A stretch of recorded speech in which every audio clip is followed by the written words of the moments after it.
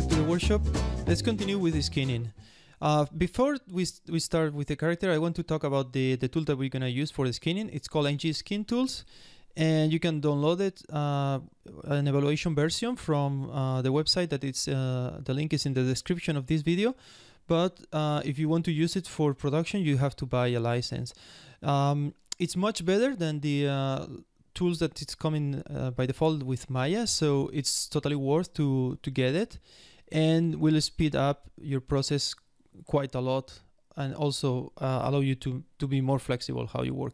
But let's do uh, before this start, uh, let's do a, an overview of the tool. So the tool is here. I have it loaded already. Uh, it's um the version I'm using right now. It's the 1.7.3. I think it's the latest version at this point recording the video and I have prepared here a little scene with two objects and one uh, chain, a light chain 01. And I want to show you something first. So I'm just gonna build this this chain. It's just completely a regular default chain, and I'm just have here my my joints. So the first thing I'm gonna do is I'm gonna review my skinning options. So I go to my bind skin here and normally I like to skin using the selected joints. So I don't use hierarchy or um, object hierarchy. So selected joints. I can normally use closest in hierarchy. Then the classic linear, interactive, neighbors, allow multiple bind poses. I set this to one to start and the rest is unchecked. So that will be my default configuration. Now I have to go here on my deformers. So I have a shortcut to select all the members.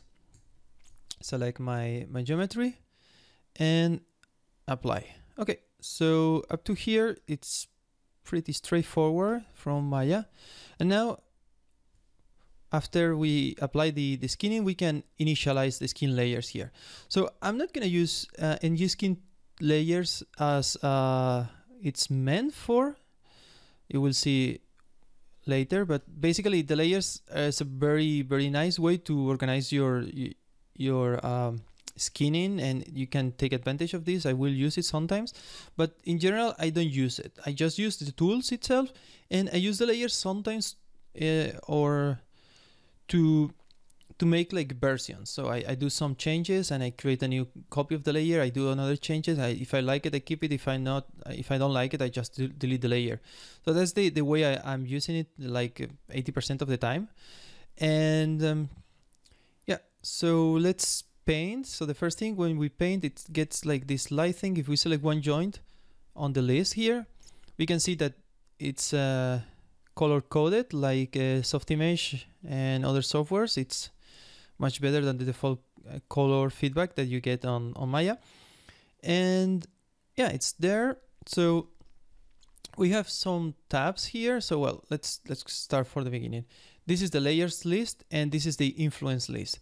You have uh, the joints listed here and this is layer mask. So when you have different layers, like in Photoshop, you can do a mask of one layer to another. So it will combine the, the layers it's like imagine like a Photoshop layer system. Then we have here the influence filter. So this it's uh, I use it a lot. It's just to filter the the joints that we can see on the um, on the list. Here I don't have too much, but if I put like this, that only will match with this one. When I press enter, it's filtered out for me. And you can do like several search, like two, like this, for instance. So it's gonna search to or use other combinations like asterisk or things like that. So you can do like very specific combinations and uh, it will help you to to find everything here. So you don't need to go selecting everything. You need to know uh, how it's named your your joint. So you will get used to the uh, gear or the shifter naming conventions and yeah it's quite fast when you get up to speed. So show all influences all influences that are not zero out. This is honestly I, I always filter with show all influences. Then we have the different tabs here with uh, different tools to make the, the paint. So the, the first one obviously the paint and it's very straightforward thing so we have the brush shape. I never change it normally when I work. Then the mode, so we have the replace, scale, sharpen, add, and smooth. This I, I use it a lot, these changes here. The intensity and the brush uh, radius. For the brush radius, you can use the B. So it's like uh, the default Maya behavior. Display settings, all influences multicolors, never touch. And yeah, I, am using a Wacom, a small one, like uh, a cheap one, but it's it's uh, very convenient. So if you have uh, Wacom, just use stylus pressure and pressure mapping to opacity. And you can have to radius or both, but I just keep it on opacity so my radius on the on the brush is uh, is always the same. Then we have the mirror tab. The mirror tab, as you can guess, it's uh, to mirroring the uh, the weights. And um, the for the moment, the only thing I always configure up front it's uh, from left to right always. So I don't want to guess from the stroke. Means the last time you brush, it says okay, I, I I'm brushing on the left side, so it's gonna mirror on the on the right side, or I'm brushing on the right side, it's gonna mirror on the left side. Um, I always brush or work on my left side of the model, so I keep it like that just in case because sometimes it gets confusing and you don't you don't remember where was the last brush that you did and it can be a little risky.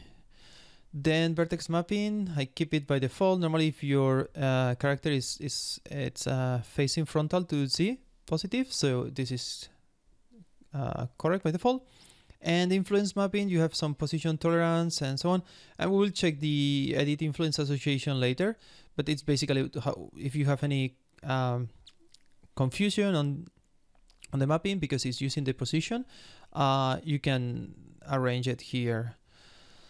Relax tools it's to relax uh, the skinning and edit weights. Is also to um, edit some of the weights and you, you have some like uh, unify weights. Also it's it's similar to to relax in the way that it's um it's gonna unify and make more uh, continuous the, the skinning but the one that i'm gonna use like 90% of the time is this one. Assign weights from closest joint. And i'm gonna do a quick demo with the, these two objects quickly. And last, it's these uh, settings that you can set the use maximum influence per vertex limit and prune small weights before writing skin cluster. So these two uh, are very useful when you're working for game engines that you have some limits like a uh, maximum limit uh, of joints and then you want to keep the minimum influence under control. So that's this, these two ones. And you can see here that it says something like prune before writing the skin cluster. What, what means that? And I think we should go here. So we have our object here. So this is like our object. And we have here, like, let's say this is the skin cluster node.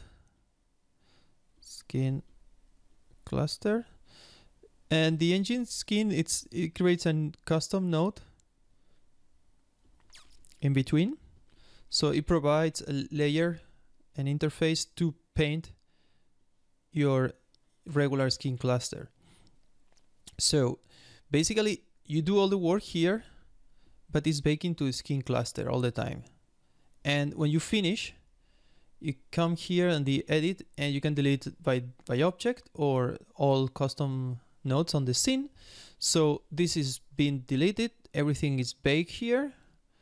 And basically you don't need this tool later to open your rigs. So this is something that it's just an interface for the, the rigger and the the node later is deleted. Obviously you, you can export your layers and configuration or part of them because the, the mapping template uh, for the mirror is not uh, store, but some of the parts can be stored, export or import, and you can re restart again or edit if you need it. So that's not like you lose completely this. It's just as I store my data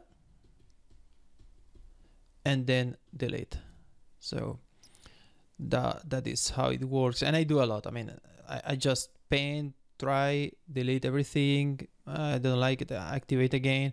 I don't save that much the layers but sometimes yeah it's it's good to, to have it and just it's worth to note if you don't delete okay you say okay i don't need to delete this because i it's uh, for a personal project on my machine and i will don't uninstall ng tools there is a penalty on the uh, performance so you better know that so it's it's it's lower so when you finish you clean up your your ng skin uh, nodes and your rig is gonna perform faster Okay, so stop talking and let's show some some examples here. So I have this one and I just want to reassign everything to one joint. So I'm just gonna paint here and replace everything to the first joint.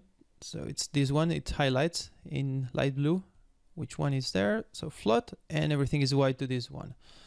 And now I want to use the edit weight tools. This is the part that I want to show you now before finish this video.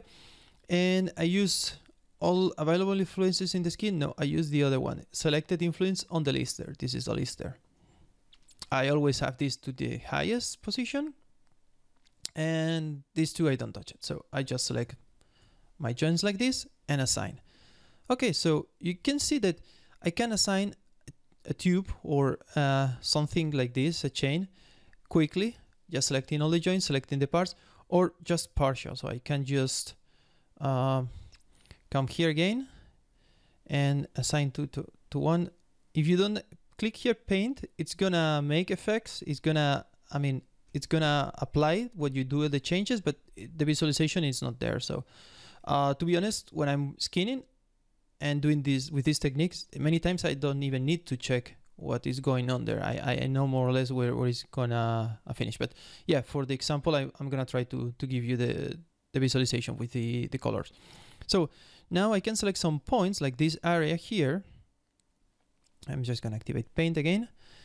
And then I'm gonna reassign this area with edit weight. So you can see that it's very flexible just with this option. So you can reassign everything or just by selecting some points and reassign to uh, a set or subset of uh, joints and it's gonna make kind of the um, um, the uh, transition from one joint to another. And here's where I want to make the example. So I'm just gonna paint again. I look at I don't check what is going on there, but I know it's gonna be everything uh, spread uh, with the joint. So and that's how it looks.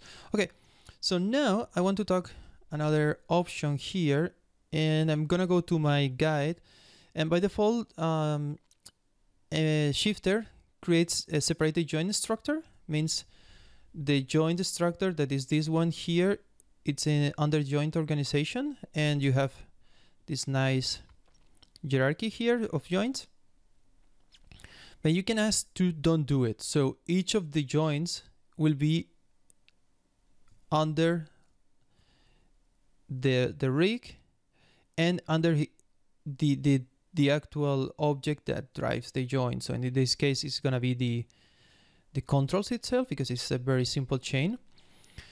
So this will be under here, this under here, and so on. And it has some, some advantages. Why I, I doing that? Because if you do this separated thing, it's cleaner for uh, organization and it looks nicer like my style thing. But uh, it's slower, simple as that, because you need to connect this with this and it does some uh, matrix multiplications and operations and it takes some uh, performance on that so that's one thing and the other is that you the way that it's gonna work the skinning is gonna be slightly different and we're gonna take advantage of that in some point. So let's do another rig. I'm just changed my settings to uh, uh, uncheck the separated joint structure. So i'm just gonna build a new one. Oh, great, it's there. So let me select the second one and I'm gonna align it to the other example object. So it's clear the connection is not made because this structure it's in between as you can see each one is child of one of the controls and I don't have the joint organization.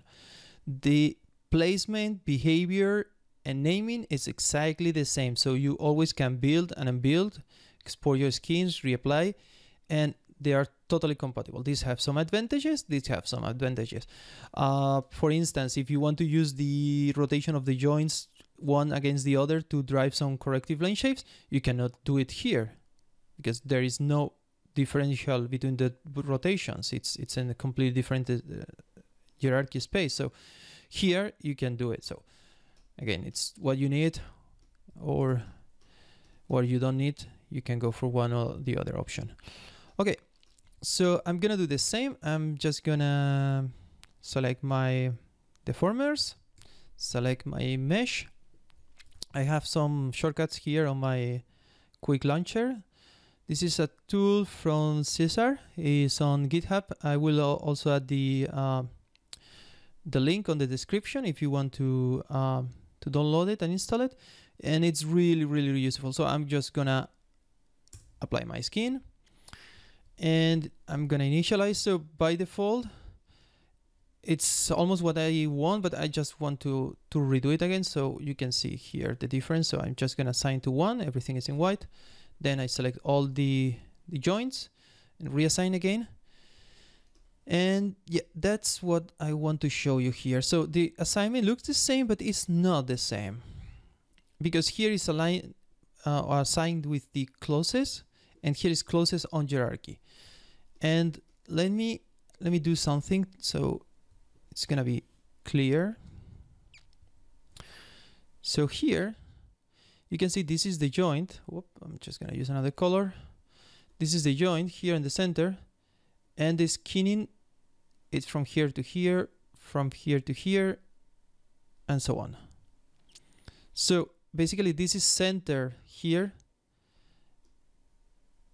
and the skinning is in both directions. Obviously, this is from here to the end. But if we check the other one, I'm just gonna set it here. I'm just gonna paint. You can see that it's slightly different. Here it's not so clear, but if you go to the next one, it starts where the joint is and continue until the next one and so on. So there is a clear difference when I have my joint structure separated and connected in the direct result that we get when we assign quickly these influences. So why I'm telling you this, okay, first it's it's good to know, of course, but there is an advantage for how I skin depending on which uh, component or which solver I'm using to solve some of the data. So for FK and regular parts, probably this is better to have everything connected. But sometimes, especially uh, on the arms and legs, the solver that I'm using is uh, the rolling spline solver. So it works differently than the spline IK solver. So that's something that you need to know there. I will go over that later when we when we check that on the model. But for the moment, just uh, keep this in a note or somewhere on your mind that it's gonna it's gonna be some difference there okay so i think it's it's uh, the end for this video. Let's continue with the character. See you in the next video. Bye bye